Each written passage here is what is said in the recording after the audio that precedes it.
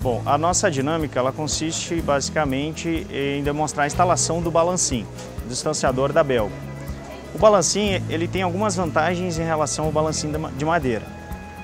Ele é mais leve, ele fica mais barato e ele é mais durável. Tá? Além disso, em caso de impacto de animais na cerca, a madeira ela tende a arrebentar. O balancim da Belgo, ele vai no máximo dar uma entortada, você vai lá, você consegue retornar, ele está na posição. Então, além desses benefícios, na hora de fazer uma instalação ele é muito mais rápido também. Então vou iniciar a fixação. De que forma? Eu passo ele por meio aqui, ó, e vou torcer. Sempre formando um S e vou amarrar para cada lado. Mesma coisa que eu vou fazer no balancinho de madeira, eu faço aqui. Vou fixar ele.